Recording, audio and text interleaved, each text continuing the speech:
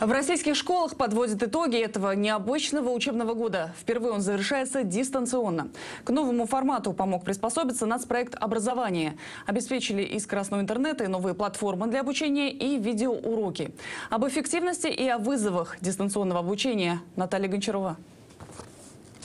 Обычный урок для учеников в Ярославле теперь выглядит так. Вместо школьной парты и ответов у доски занятия по компьютеру в дистанционном формате. Все это стало возможным в рамках национального проекта «Образование». Современная презентация, инфографика для наглядности и возможность задать любой вопрос прямо в чате. А в конце занятия оставить отзыв в виде смайлика.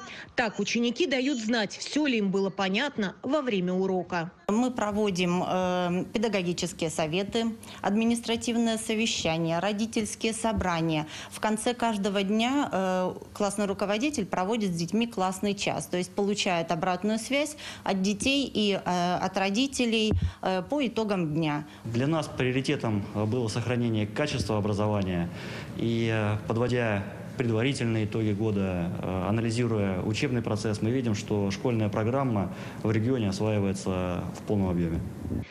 Успешно учатся в онлайн-формате и школьники Кургана. Многие педагоги используют для занятий социальную сеть ВКонтакте. Там выкладывают лекции, познавательные видеоуроки, домашние задания и инструкции по их выполнению. Рада сегодня приветствовать вас онлайн в нашей прямой трансляции урока биологии.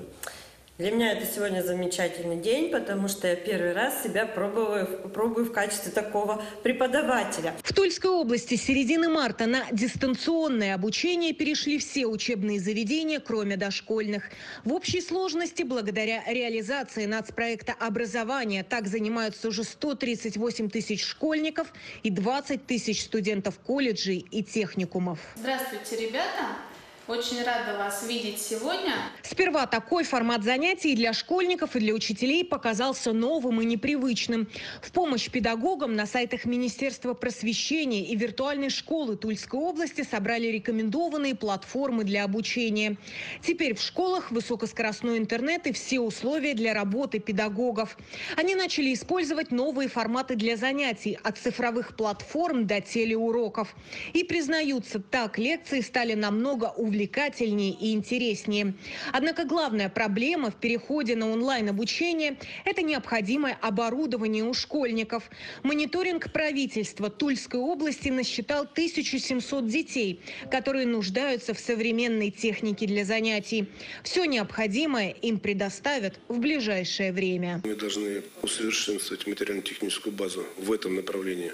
Конечно же, мы на безвозмездной основе значит, уже подготовили список, где ближайшее время значит, мы закупим э, необходимое количество гаджетов именно по той категории, э, где, э, в первую очередь, нет возможности у родителей приобрести необходимые значит, устройства.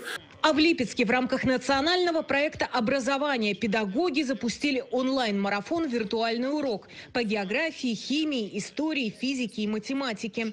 Так учителя смогли создать понятный и интересный старшеклассникам формат.